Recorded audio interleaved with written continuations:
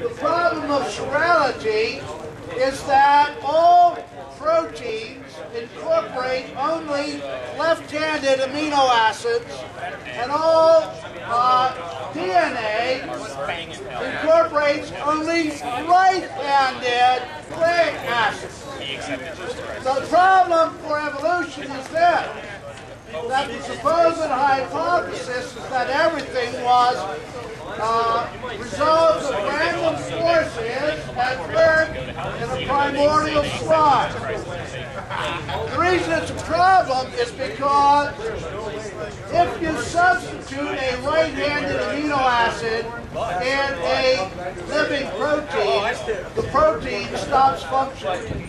The obfuscation that was presented to me on Monday was that chirality was a proof of natural selection. That's the subject I want to address today. Can natural selection explain why of left-handed amino acids? You can't prove scientific theory! I can prove mathematically that there is no chance involved. Jesus Christ, math is a priori! They're not the same fucking thing at all! I can show Fucking moron! by mathematics that if all listen listen to listen to the hypothesis here. If it started out with a primordial soup, the primordial soup would have had it 50-50 distribution between left hand and right hand amino acids. Now, if the first living thing was made up in a primordial soup, you gotta listen to the argument before you answer it. The Bible says it's the fool who answers the question before it's asked. Now, the problem with chirality is that only proteins consisting of left-handed amino acids perform the function they're designed for. The problem of that towards evolution is that in a primordial soup, the availability of uh, amino acids would have been evenly distributed between left hand and right hand amino acids. Since there is no uh, mechanism in nature to determine that all amino acids would be left-handed, uh, you would have to have had the situation where left-handed and right-handed amino acids were equally available. Now that's the problem. You know what the problem is?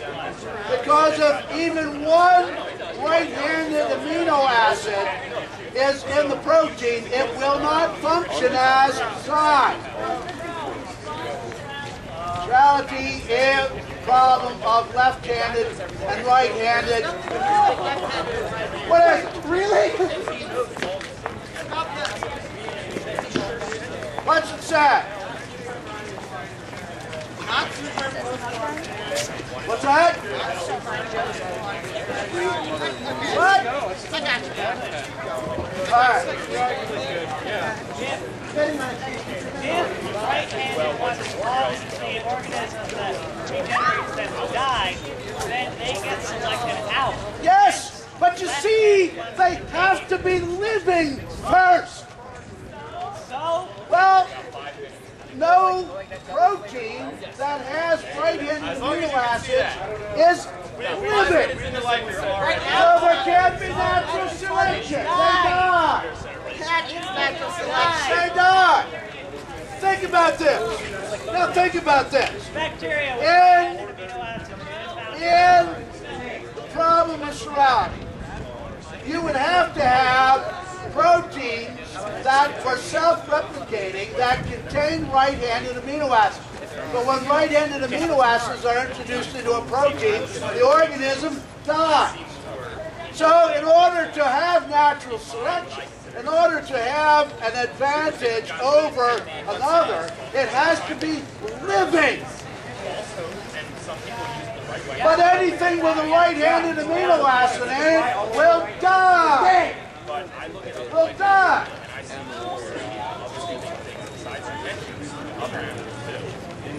I The human being,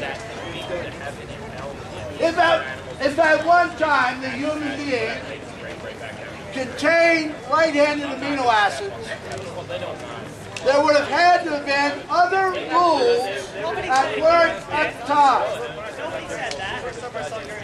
We know only one thing, that human beings are made up of left-handed amino acids entirely.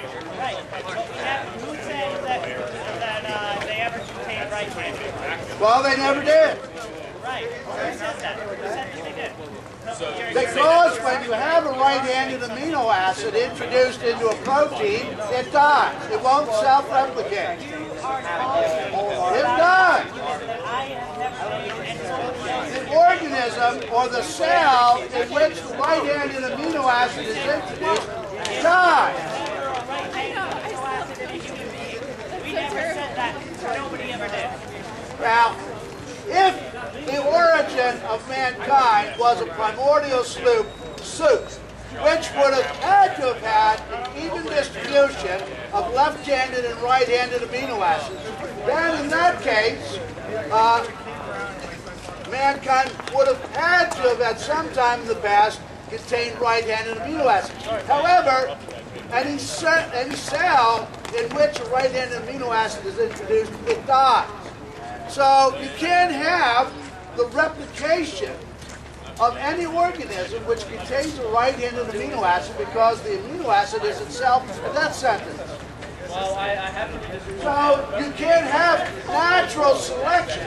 You can't have natural selection in this regard because you would have to have surviving members of the species that's evolving in, in order to have natural selection take place.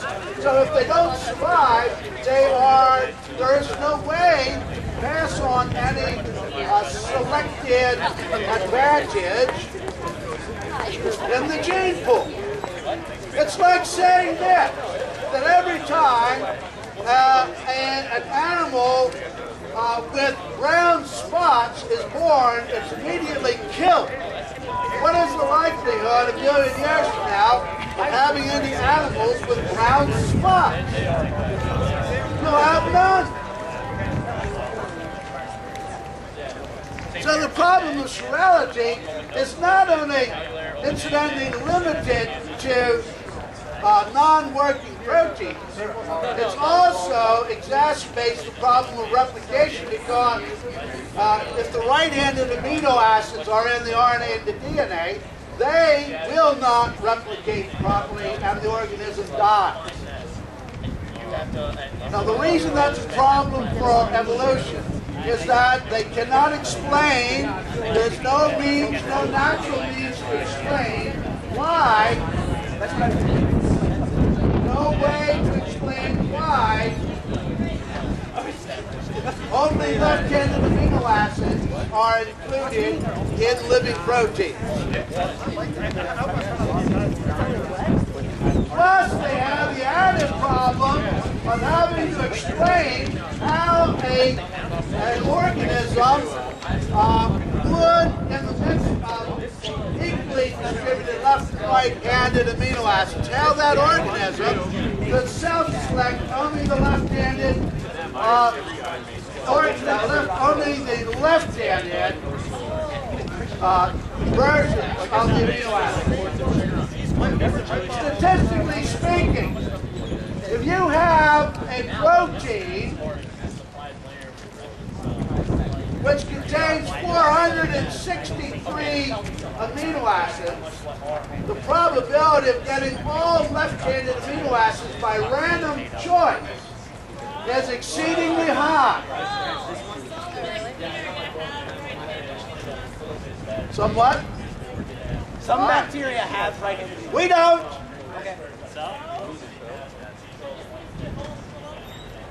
We can't have evolved because we had to have started with an even distribution. But proteins that have oh!